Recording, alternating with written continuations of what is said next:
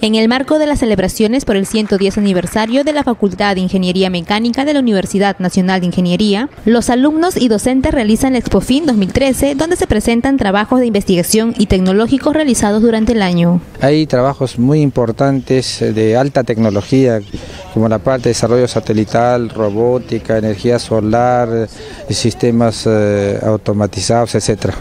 Esta feria, ubicada en la explanada de la mencionada escuela universitaria, tiene como objetivo dar a conocer al público los diversos trabajos que se realizan en este centro de estudios, que son de gran importancia no solo para la UNI, sino también para el país. Esta Expofin muestra al público qué es lo que hacemos en la facultad y es una manera de incentivar, es una manera de hacer ver a la, digamos, a la comunidad, porque van a venir estudiantes de, de los colegios secundarios, van a venir, van a participar. Este evento que durará toda la semana mostrará innovadoras propuestas tecnológicas a cargo de alumnos de los últimos ciclos. Acá que podemos presentar el, este proyecto que es un carro autónomo, eh, como pueden ver en el video, el, es, es, tiene una alta velocidad del carro y el proyecto en sí se, eh, consiste en tener un punto inicial y un punto final. Para ello usamos sensores eh, como el GPS, como también este, un, una brújula digital para poder saber la dirección donde estamos.